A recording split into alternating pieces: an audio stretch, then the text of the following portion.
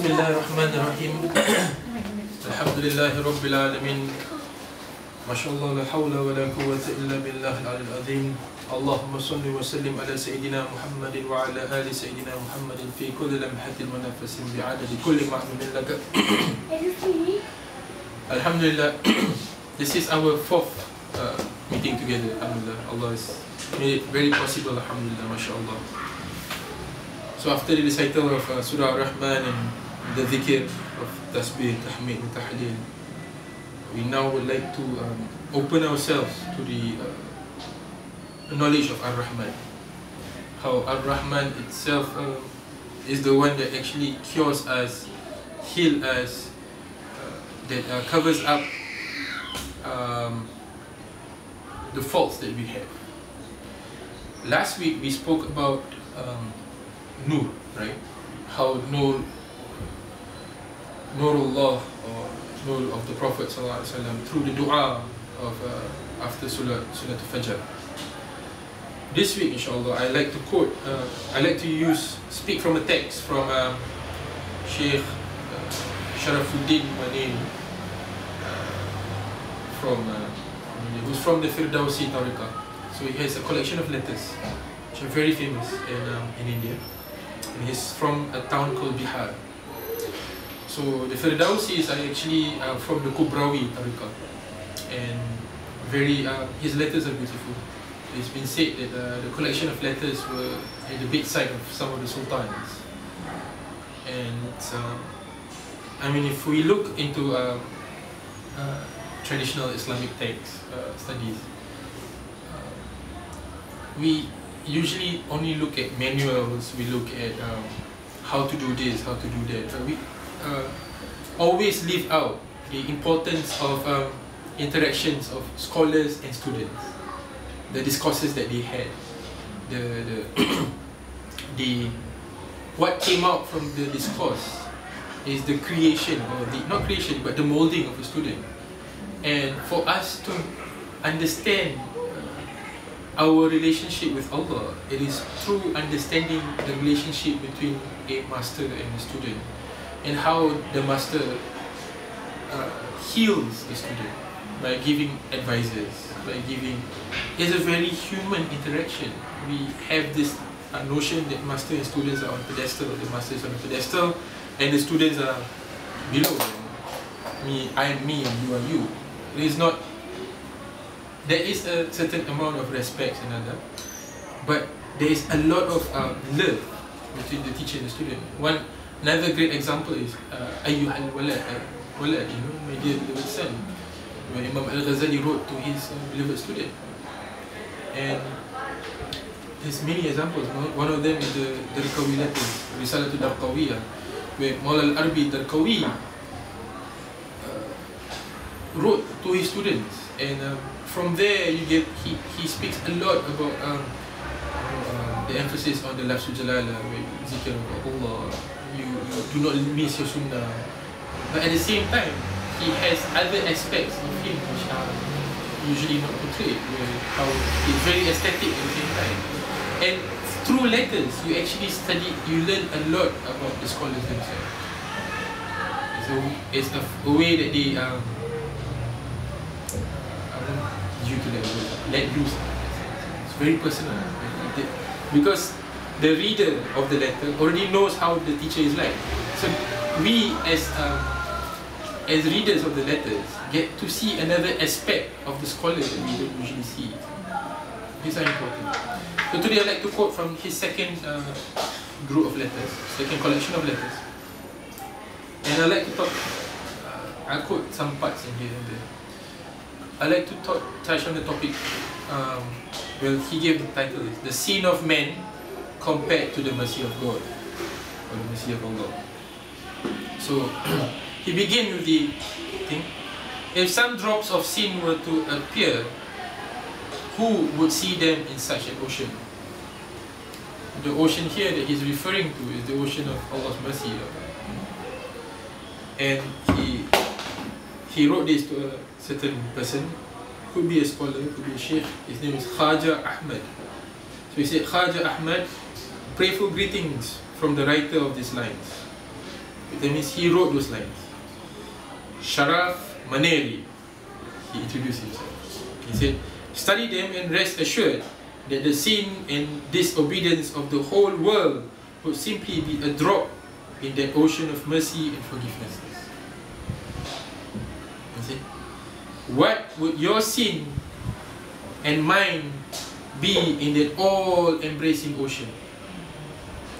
It has been put thus. So he says in another uh, poetry, he says, If the sins of all, from the first to the last, were to pile up in heaven and upon the earth, yet the vast dimensions of all those sins were, are all obliterated in one dwelling place. See, this, this shows how the scholar in this book you'll see a lot of uh, other letters where he spoke about uh, uh, wara. Have to be uh, through wara. That you have to hold on to the sharia and all that kind of thing. But also now you see another aspect of him where he says yes Allah is all embracing mercy would forgive you. This, this is where we talk we understand about tashbih tanzih. Similarity and this tashbih. Tanzih is where Allah is is most great majesty. So jalal is tanzih tashbih is jamal. So here in under in order to understand tauhid one must know I'm not only talking about tauhid in terms of ash'ari or maturidi no. Tauhid that you live with. There's enough talk about tawheed of the text, which is fine, alhamdulillah. But the tawheed that you breathe with, the tawheed that you walk with, the tawheed that you see with, the tawheed that you speak with, the tawheed that you you interact with people with. So there is a hadith Qudsi that says, My mercy precedes my wrath. If you read Ibn Arabi, he quotes a lot of this hadith, My mercy precedes my wrath. And here, the Sheikh, Sharafuddin Yahya Maneri, it's, it's actually in actual fact explaining the hadith. We cannot enter heaven without the mercy of Allah. So what should we be looking for is His mercy, His rahmah. And we must be very assured that His ocean of His forgiveness is bigger than any ocean we go with the assurance. We have we have nowhere else to run to. Yes, you fear Allah, right? Right? But at the same time, you know that His mercy is bigger than His ocean. He mentions about heaven and hell and all that kind of thing. But at the same time, He mentions, we just read Ar-Rahman. Which one do you deny? This is the most important. So let me continue reading. Finally, there's an injunction of the law where the Prophet says, by God, by Allah, in whose power is my soul, if you hadn't seen, the Lord would assuredly have taken you away and brought you another place, another and brought another people, that means they would change the people, in your place who would have sinned. They would have then craved forgiveness and God most exalted Allah subhanahu wa ta'ala would have forgiven them. Allah practicing His asma al-ghafur. It doesn't mean we go around sinning, no. but it also goes to show only Allah is perfect. And I mean besides that the closest is the Prophet sallallahu alaihi wasallam who have seen all the true realities of Allah subhanahu wa ta'ala. So we who are on the path of trying to be close to Allah, trying to realize Allah, trying to be in the light of Allah, trying to be with His mercy, must also walk with confidence, with mercy, in the light of mercy. I spoke about this before, Tariqatul Rahman, the path of mercy. This is tas, this is tashbih. We must have the must have the full assurance of Allah's Rahman. Eh? Let me continue. Thus it is said, the Shaykh continued, he said, sinners sought your comprehensive forgiveness. That means your forgiveness is comprehensive. This is why I took hold of Sinners Square. when I saw your work of veiling sinners, your Allah, with my own hands I tore away my own veil. Because he believed in the mercy. That means the veil, hijab, is gone. Since the color of the blanket I received was black, O gracious one, make it as white as my hair. For me, this is a very powerful letter. Very powerful letter. Then he says, Oh brother, back to Khaja Ahmad, he, he said, Oh brother, a profound secret lies hidden within your sins and mine. Even Ibn Sidi Ahmad ibn Atta'illah says this in his hikam, why we do sins and all that kind of thing. If your sins and mine didn't exist, the divine pardoning and veiling would have been revealed. Allah wants to manifest.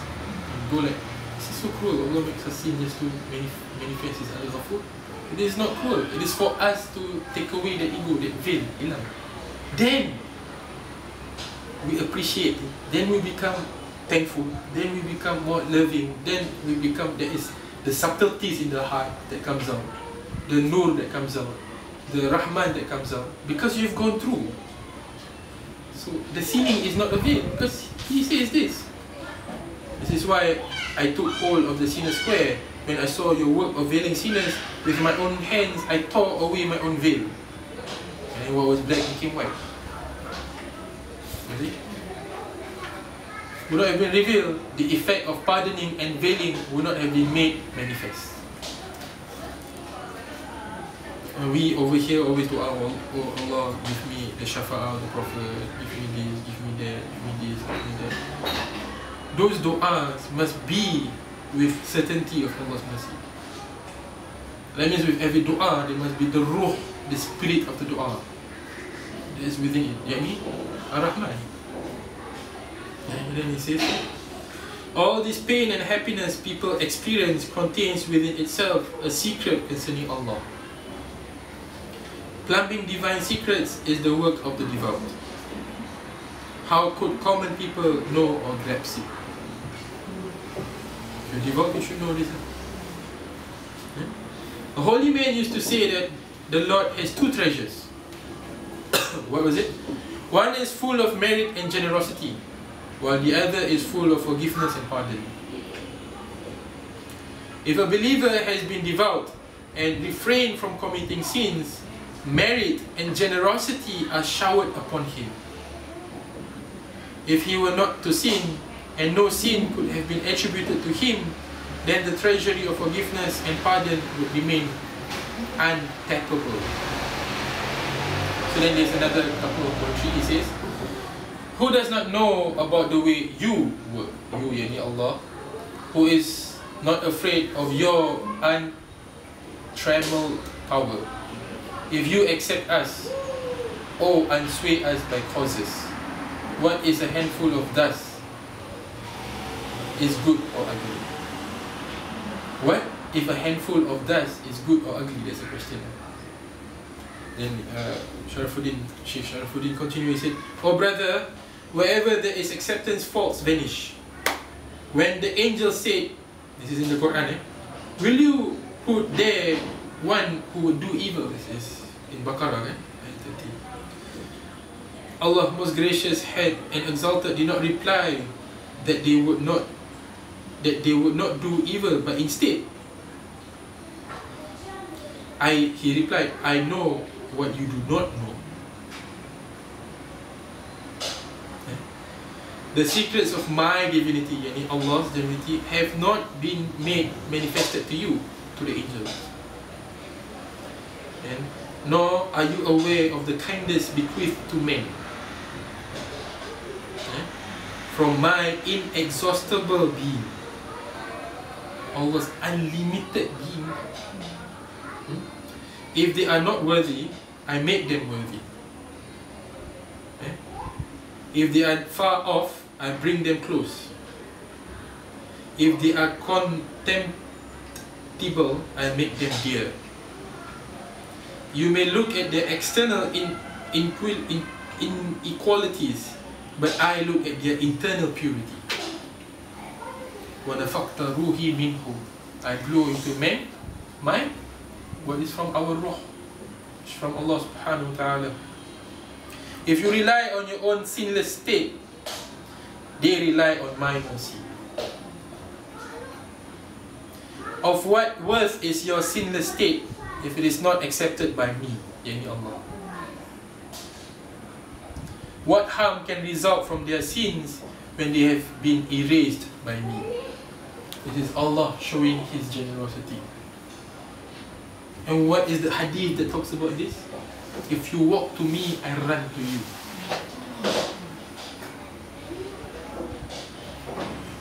Then the hadith continues. It's very mashhur hadith you all can If you walk to me, I run to you. We erase off Allah's running, but we keep talking about our walking. Seem like those angels lah. Oh, we, we have been praying to you, oh Allah. We have been this, oh Allah. We have been that. Why do you need them? No, you are different. They are different. Why?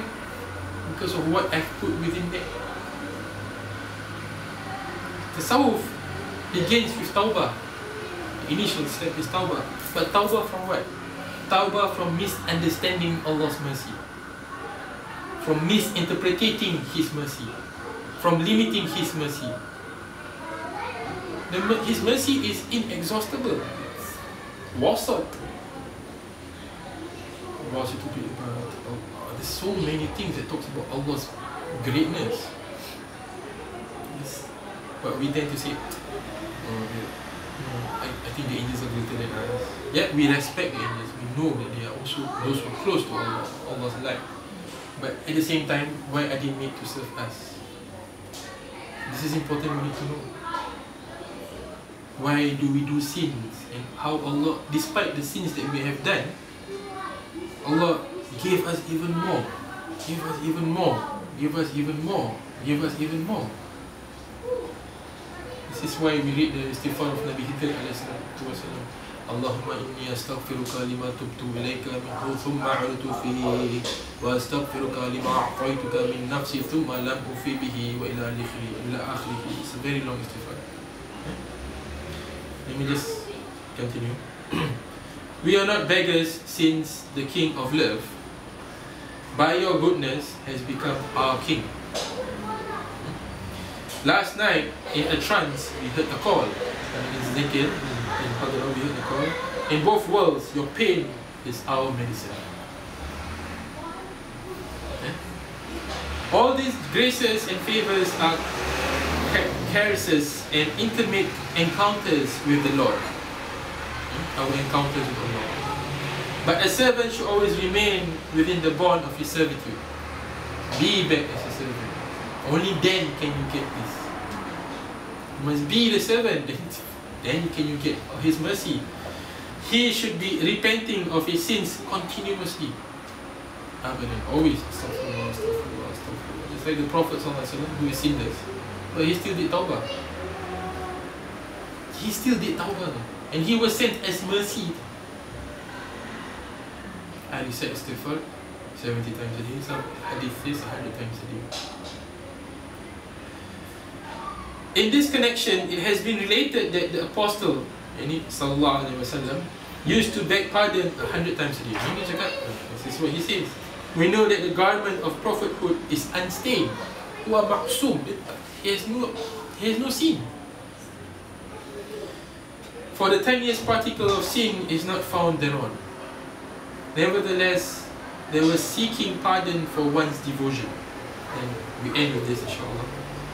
Don't even steal a glance of your own existence. For you won't become bright and radiant thereby.